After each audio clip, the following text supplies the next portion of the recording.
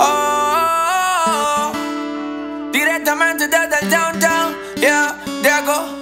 Bolola, bolola, hey, como te con